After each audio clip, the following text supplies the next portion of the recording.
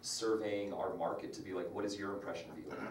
When, you- when you think of Ely, like, what do you think of? And so maybe there's, maybe there's perception issues that we don't know about, you know, but through this entire thing, market studies, um, branding, asset development, you know, to-do lists and checklists that come from other projects, it'll, it'll take in all of that into the big picture and figure out how to actually make it happen. Are there any questions or comments? Marietta, any questions? No, I think this is good, I think this is excellent. Okay, Well, we've certainly been uh, showered with a lot of money from Travel Nevada with our grant program, so we appreciate their support. Anybody from the audience with a question or comment on it? I would just like to extend the invite tomorrow at six o'clock. Um, hot pies from Sugar Salt, or Salt and Cray. Um, but yeah, look over, look over the, the application and kind of see what the parameters are and what they're looking for. And if it, if it's, gets the wheels turning, you know, we, we want you at that meeting tomorrow night, so. Okay, I'll entertain a motion for approval. I'll move to approve. Thank you. Second? I'll I'll second. second. Okay. Um, It's been moved and seconded. Uh, Any further discussion? Hearing none. All in, uh, in agreement, please indicate by saying aye. Aye. Any opposed? Motion carries. Thank you, and thanks for doing the heavy lifting. Absolutely. Okay, we'll move to discussion information items, uh, the tourism survey. All right, so in your packet, you've got a printout of what I've been working on. Uh, This, this project was kind of started because we do have a lot of new people moving into the community. Um, And, and of course, a lot of people who've lived here for a while that may or may not know what White Pine County Tourism does. So you've seen the first version of this, this is the updated version. Mm-hmm. So it, it essentially, what we did is we just changed the order of the questions to kind of match the entire way through. But it's everything from, you know, how important is tourism, how much does it impact your life? Why do you think people come here? What are your top attractions, must-see things, where do you take people when they come to town? And then it also goes into uh, events, of course, and then it also goes into, you know, tell us what new stuff you wanna see, or tell us where you think we could do better in regards to, you know, say, say somebody lo- absolutely loves the White Pine Public Museum, and they've got a bunch of ideas of things we could do, you know, to, to make that better. So with all of the, the pillars that we kind of market in, historic assets, arts and cultural, um, outdoor recreation, and events, and then it dives into where do you get your information. Um, I still feel like a lot of people uh, on whatever social media they're on maybe don't follow Visit Ely, Nevada, even though the ones who do are like, oh my goodness, you know, it, it, they're, it's such great pages. Um, the calendar on the website, all of that stuff, and then it goes into some basic demographics. Um, how old are you and how long have you lived in White Pine County? Just to see, you know, what new people's impressions are versus, you know, lifers and stuff like that. Um, as well as the Bristlecone Convention Center. So it's, you know, it's getting, a, it's getting the vibe of the community on what they think of us, but from a self-serving end of it too, it's also being like, hey, we have a Facebook page, do you follow it? We have a Twitter page, we have an Instagram page, we have a calendar, do you know about that? You know, and just getting our messaging out there. So this, people will be able to fill this out in a print version, um, and they will all, this will also be sent out, um, via SurveyMonkey, um, to do digitally as well. So SurveyMonkey, it's nice because it'll, it'll tabulate everything and give us the results. We'll just have to enter these ones in manually, um, to go ahead and do the paper copies, but we wanna get everybody's opinion, no matter how tech savvy they are. Any comments or questions? I just have a couple, like, uh, we've got the wrong call number for KDSS. Oh, shoot, And then, um, I, what about an area for additional comments? okay. Because we wanna hear, you know, if there's some things we've missed, or something they really love, they can call. tell us, or something we really hate. Great idea. Yeah, Just a text Cool. box. What's KDSS's call number? Ninety-two point seven, I believe, like horseshoes. It's only a little bit off. You kind of forget when there's only two radio stations. It's already automatically dialed. You just hit scan and it hits it. Okay, I'd like to entertain a motion for approval to Oh, we just, we don't, this is discussion only, you're going to be doing this. When- Okay. When is the launch date? Uh, once I make those corrections. Okay, and you're going to, the paper copies, we'll need to take them to the senior center and at the visitor center? Any other places that Um, town council, You know what, I'll, uh, yeah, we'll, I will pound the pavement, we'll make sure we get them out in all the places and, um, get them out to our businesses, but it'll be on social. We were even talking about having it, you know, doing the QR code directly to the survey and then putting ads in both the papers. Mhm. Um, so, okay. Well, thank you very much, um, be interesting to get the results. All right, the next discussion item is engagement of RCG Economics LLC to conduct a study regarding the feasibility of the proposed hotel casino ski resort project with a thirteen thousand dollar contribution, which is one-third the cost. Um, White Pine County has committed to paying twenty-six thousand or two-thirds of the fee, assuming partnership with White Pine County Tourism and Recreation. So I believe, is it Ian, you're going to take this one? Yeah. Um, Kyle, I dropped the ball, and I should have had you print, in addition to this, the, um, the RCG, uh, proposal, but maybe, oh shoot, maybe okay. this is probably enough. Um, This is just the next logical step in this project we've been working so hard on for so long, and, um, I don't know if I ever thanked him publicly, but, um, Brian and his wife did a wonderful job of taking our, our little, um, our first trip here when Tim Cohey came up to even find out if this was a, even a good idea, and you guys really pulled out the, the ski nerds and just did a great job of showing them what we had. Because I wouldn't have known how to show them Yeah, anything, I just kind of, in theory, I'm like, hey, we got mountains and I think this is a good idea, but you guys really, like, showed him why it was a really good idea, and, and he came away so encouraged, and that's really why we're here today, is because uh, an industry professional came out and, and walked away going, this, this could really work. Um, and so the next step is, that's really cool that we all have the opinion that this could work, we need a credible opinion.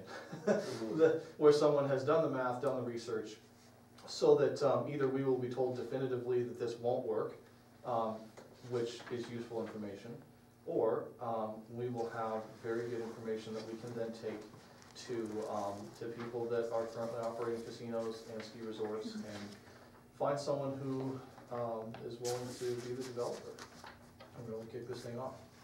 Um, but we, this is the next step, we have to have information from a credible source and not just our opinions that it's, that's a good idea. Um, So, it's a pretty small pr- price to pay. Um, The county, you know, just from my perspective, they, we easily could have afforded to pay the whole thing, but uh, the other commissioners wanted this to be a partnership. Kyle was there, and he and I both lobbied to make sure they understood that we haven't been sitting on our hands over here. We've uh, invested a good amount um, of time, not just money, but, uh, but I didn't see this as being, you know, a terrible request that we jump in at a third of the cost of what they're putting up to, to see this done. And I think we can afford it, so, um, seemed like reasonable and certainly within our wheelhouse as a tourism and recreation, uh, department, so. Brian, any questions? I don't, um, I always thought it was a good idea, and it's better to get a good feasible report on how it can actually happen, all ideas need some backing financially. To sell it, you're gonna have to do this anyway, so to Yep. sell that idea on the this thing. But I don't think there's a person in Ely that hasn't looked up on a snowy year and been like, we should have a ski resort here. Yep. Marietta, what are your thoughts? This is just a discussion only, we're not voting on it today? Okay, um, my concern is that we have not included the city, uh, in this discussion at all. And we receive ninety-three percent of our revenues come from the city of Ely, uh, as far as road tax money. And I just think that it would certainly be in order to include them in this conversation. Well, not, not, uh, you're not off on that. Um, It's mostly, it wasn't an intentional neglecting of them, I think we've just been slowly piecing together relevant partners as we go along. And we've only recently kind of gotten to this stage. Um, just so we're clear, um, RCG, what it is, RCG Economics, they have already received the, um, the deposit and they are moving forward with this. So, um, this is basically a request for us to just really partner with them. Um, the, the city has, you know, they're, they're not drowning financially, but I, I feel like I, I wouldn't have asked them for any money, but I definitely would, would like to know their opinion about it. I wouldn't expect them to just kick down on, on my idea or our our idea that we've been doing, unless they felt like it was appropriate and they wanted to be a part of that. But I wouldn't feel right just being like, hey, we have this idea, how about a little? So, I don't know, how do you feel about all that, Kurt? I don't Um, mean to leave you out, so. No, no, I, I'm not insulted by it by no means, um, might not hurt to hit them up on the agenda and, and have a discussion too, see if maybe we can all partner up on it, or, or their thoughts on it too. Yeah. Um, I know I've always wanted a ski resort here throughout the years, I, I go skiing two or three times a year, and it's a big pain to travel 10, 15 hours away to, to some other place, I do, not to knock your efforts, but I do kind of worry about the global warming, or whatever you want to call it too, it just, really do want it, but it's kind of one of those things, can, can it be sustainable here? I don't know, that's probably what this report's gonna, gonna find out once and for all. Yeah, well, just to be clear, they are gonna do a lot of research on the, on the economic feasibility. There's been a lot of studies on the climate stuff, as far as we know. Um, and for now, as long as it stays cold here, and no matter how warm the planet gets, it probably will stay pretty cold here for a long time. We'll be at the end of that train. Um, it's, the, what we looked into originally, I don't remember how much detail it gets into in this report here, but, um, snowmaking has come such a long way. Um, we could build a ski resort in Saudi Arabia if we could keep it cold enough. Sure, yeah, anything's possible, I just, kind of, the questions in my mind, I mean, even the ice sculptures nowadays, we can't even hardly, you know, freeze the ice sculptures, we just have a tough time anymore, so, Sure. you know. Is there Something plans we'll on to having figure out. it be a multi-season Yes, resort? Yep. So it wouldn't just be skiing in the wintertime, but they would incorporate other stuff in the summertime as well? yeah, I mean, this would be conducive to, and, and very, very complimentary to the mountain biking community that's, that's mm-hmm. launching out here, so. Well, and I think one thing that, you know, we haven't been able to put in here, but this study probably would, is how many jobs that it would bring in, you know, and not just high-level management jobs, lifty jobs, supporting services jobs, and a lot of those would be, you know, members of the community, Ely know, would benefit. yeah, you know, like, not just from a tourism standpoint, but Yes, from a, it, as a matter of fact, tourism for, for me personally was an afterthought. Um, when I ran for office, when I got into this whole political garbage, um, my whole thing was looking at the town, looking at the economics and realizing, and we have a history to prove it, that, uh, our economy here is volatile, and and every time that freaking mine shuts down, things go south. And, I mean, it's rumors at this point that, I think got dispelled, but, um, you know, just recently, they, they had some bad reports, got in trouble with MSHA, all kinds of things, all kinds of guys that I know that work there were being told that they were gonna shut the whole place down, and, uh, and that was gonna be it. But, you know, that's over the top, but I, it, it was a reminder to me of how delicate this is. You know, anytime MSHA or some other government agency could come in and decide that we not follow the rules and be like, well, that's the end of that, sorry guys. And so for us to have another part of our economy here for jobs, where people can get paid well and have, you know, a pretty solid career, in addition to the mining, I think would just be smart, so. That's, Yeah, that's my- wintertime's so slow here, just kills the downtown mer- merchants for sure.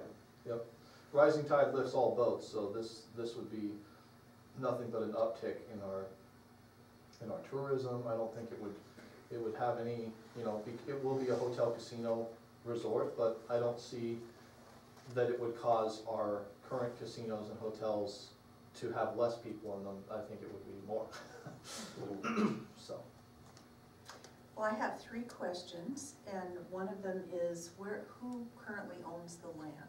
Uh, it's Forest Service owns the mountain and BLM at the base. that's right, yeah. Bill Wolf has been heavily involved in this and can answer quite a few questions as well.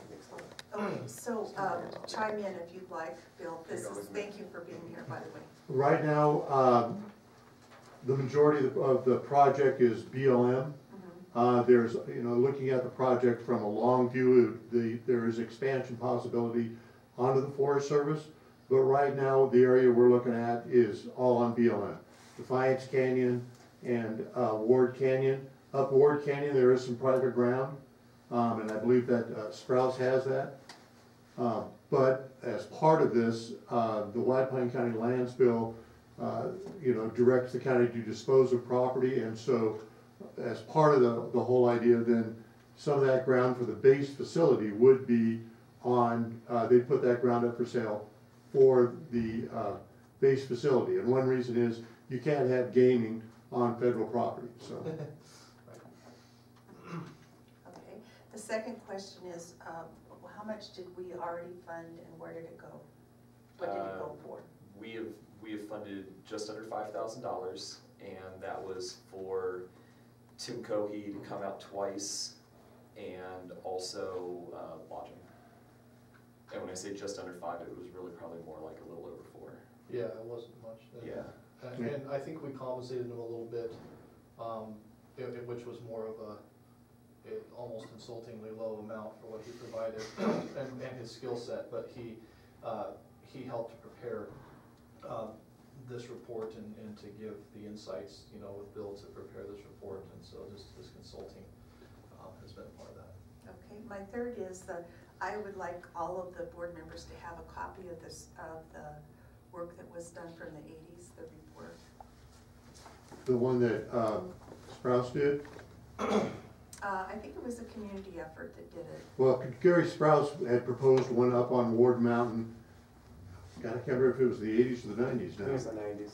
in the nineties, and so, um, and he did a ton of work on that, and I'm sure we can, we can come up with that, uh, document somewhere. But at, I, the, the gist of his document was, it's a doable thing, it's got the same, uh, snowfall, in the report it said the same snowfall as Park City, um, and also we're at a higher elevation.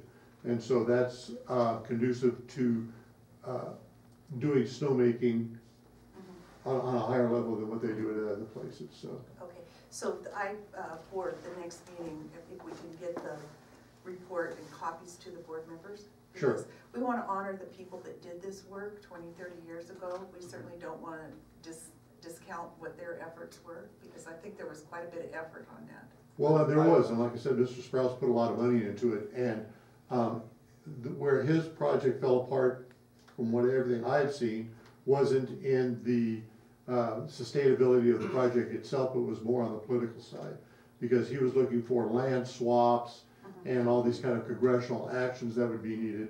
Whereas in what we're looking at, it, it's, it's pretty straightforward. Um, any land to be sold, it's already part of the, uh, agency's mandate to do that, and they're actually behind schedule on what they should have been doing as far as land disposal. And, uh, when uh, Senator Cortez Masto was here, uh, she expressed, you know, complete support in trying to get more of the, uh, property, um, in the county changed from BLM to private.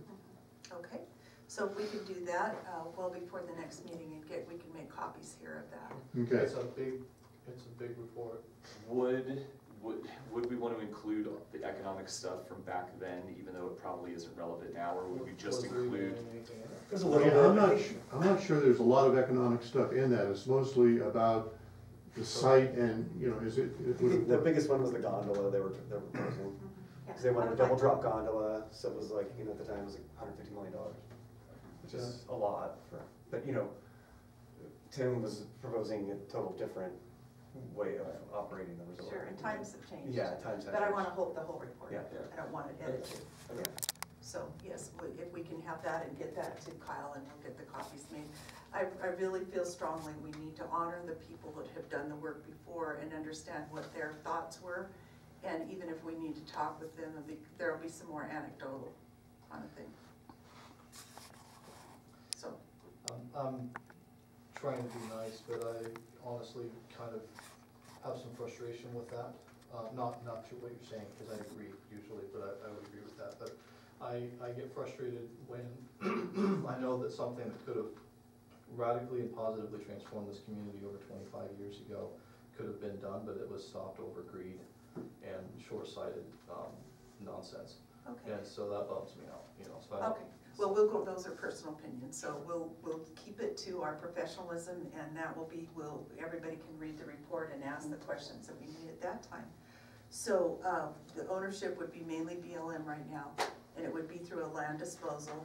And then, um, what we've already spent is under five thousand, and they're asking for thirteen for, and this is with Tim Cohey. Yeah, No, um, this money is going to a company we've engaged out of Las Vegas, that is Okay. a professional, um. Study group. Yeah, exactly. Okay, They work with UNLV, we were originally gonna go to UNLV. Right. UNLV's too busy, and they usually kind of subcontract with the, with this group, so Okay. that's why they put us with. uh, just to, just to make sure we're, we're clear though, the, uh, the private lands would strictly be the base facility, which would be like forty acres, and the remaining several thousand acres would be leased from the BLM Yeah. For the ski lifts and all that kind of. so the and ski gaming run. part and hotel would be on private land. Strictly that, yeah, so we're looking like forty acres maybe. It's a, it's a really good time to deal with the BLM right now on it, cause you know, they have the Silverton project, which is the only BLM ski resort. So This is another one that would be based off of that. Okay, Where's and where that? is that? Um, Colorado. Oh, okay, well, that's good. And I'll just, I'll just add to the conversation, the report that, that we have currently, I have given that to different hotel and, and gaming, uh, people here and also in Reno. Um, and essentially, it- it piqued their interest to where they're, they're watching, but the questions that they did ask were, were a much higher level that I'm assuming is the answers that we would get from this, this current, uh, the study that we're. I'm sure they're gonna have to do some sort of heavy study on, you know, bringing water out of Comins Lake and up to actually, you know, cause. Well, I- and uh, I'm not sure that would be the way they would do it, Yeah, it would be yeah. more about uh, drilling wells and pulling the water there more on site, and then what would be the effect on Comins Lake as part of a hydrologic study. Alrighty, well, since this is a discussion item only, but I believe you understand what we need before we can put this on the agenda, so everyone's had time to study that. And then who will be going to the city council? You and the two of you? Um, I didn't know we agreed to go to them. I, I don't know what to go to them, because I don't really have much to say, other than they all, as far as I know, are aware that we're working on this.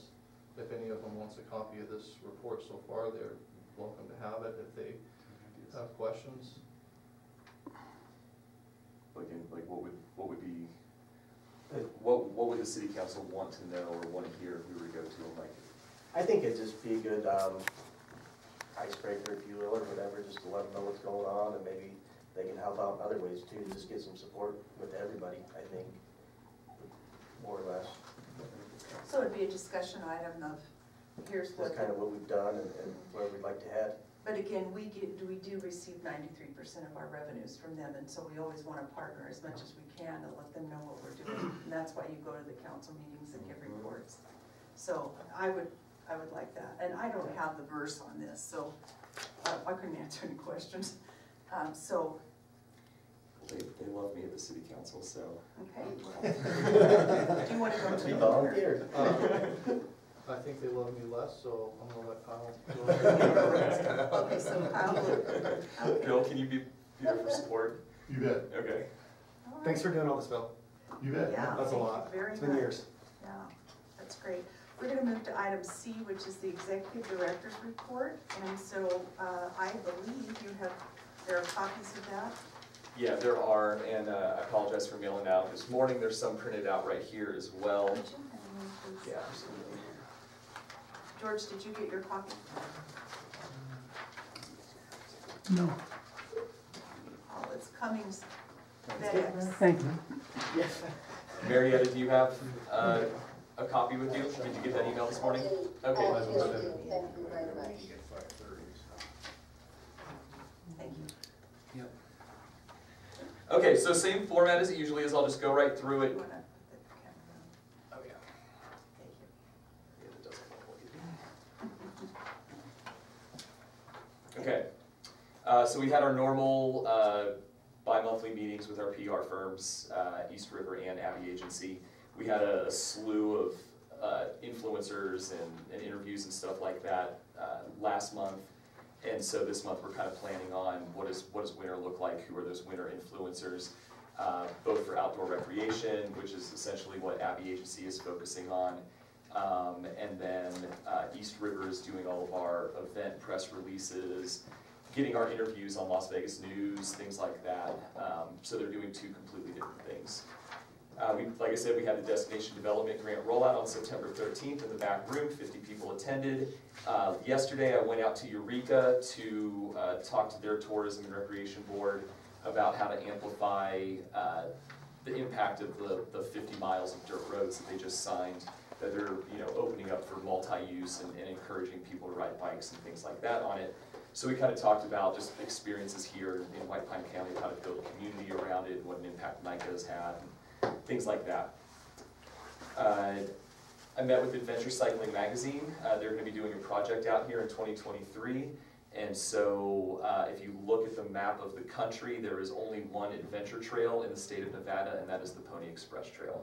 And so we are certainly not lacking in that department, just in the acknowledgement of it and the representation of it. So we'll be working with them next spring to up that, uh, representation in, in at least eastern Nevada. And then we are running out of visitors guides rapidly, so we have started working on uh, updating those with new articles, new photos, making sure the information is correct. And we're looking at a reprint right at the beginning of the new year. And we are also working on a new billboard design for Murry Canyon. Uh, that billboard was very well received, but after four years, it is getting pretty sun bleached out, and it's time for a, a new design. So you'll be seeing that. Uh, from an accomplishment standpoint, room tax was nine percent over uh, August this time last year. And so thank you to events like the horse races um, and everything that was going on in August that went ahead and gave that that boost. Uh, Race the Rails happened in September. We're going to do a full report the next board meeting on, on Race the Rails and, and the itemized expenses. But we grew from, I believe, 80 last year to 120 racers this year. The amount of family that was brought upped it to about 200, 200 people that were in the freight barn for lunch that day. We had the rifleman and his band playing, um, and Salt Sucre did the, did the banquet of that. So that was, that was great. I just did an interview with London-based Hills Balfour. Uh, they're working with Travel Nevada on informing their, their travel agents over in Europe on, on what Nevada has. And so it was, a, it was, it was very heavily weighted towards train, national park, dark skies is what we talked about for the international traveler. Um, and then last week we were successful, uh, collaboration between the City of Ely, White Pine Main Street, tourism. Uh, we've been working on this facade improvement incentive program, and that was approved by the city last week. So uh, we'll be moving forward with submitting that T-Mobile grant by the end of the week and all the other grants to try to now find funding for that. And we did hire uh, a new hire at the Visitor Center um, in the chamber, Stephanie Gustafson. Um, she's a great addition, and I just need to work harder on, on tapping into her skill set, you know, because just an- another great person on the team. Wonderful. Uh, for current grants that are out, Nevada Magazine, uh, three thousand for advertising, thirty-four hundred for a seasonal event uh, card mailer that we'll probably be putting out at the beginning of the year that will showcase all of our events for the year annually, but with enough time to attend Fire and Ice and things like that. And then we've been working on that trail ride, horseback trail riding content um, with Bill Wagers, and we'll have a whole bunch of, we're pretty much in the information gathering section right now. Travel Nevada's opened up their second wave of marketing grants, so coming up with ideas for that, for, for more marketing grants. This destination development grant that I'm gonna be writing that's due at the end of October. Great Basin Heritage Area has opened up grants, uh, so we'll be doing stuff between the museum, Main Street, and tourism to tap into that. And then the, the T-Mobile hometown, it's not holiday, it's hometown revitalization grant, I apologize. From an art standpoint, Virginia Terry came, uh, came up and asked if we would consider uh, funding the rehabilitation and sealing of the Cattle Drive uh, mural, the Larry Butte one that's on the side of, I think it's Ann Kellogg's building now, um, the most eligible building in downtown. So, um, I don't know if the jailhouse still owns the grassy area next to it. Yes, we're in the parking lot now. Okay, cool. So we'll just have that conversation about the landscaping and, Norm, Norm, Norm commissioned that, I think it's like one of the first ones, so. Mhm. yeah, it was one of the first ones. So, yeah, so we, we, we'd love to get somebody to just completely touch it up and revitalize it and seal it again. Is Larry Buse still alive? Yes. Virginia said he is, but he's, he's certainly not getting around Okay. as well as he used to. Um, cause I'd asked if he would be the one to, Mm. to rehab it, and- and she said probably not. Um, do, do, do, do, where we at here? Okay, and then the uh, bowling alley mural, or the mural on the bowling alley, um, the city asked us to go back to the drawing board for a different design. Um, they had some concerns with it, all of them, uh, relevant, and so we'll be working with the artist on that, um, and I've got a meeting at two o'clock on Thursday. Um, What were the concerns? I never saw the Um, design, so.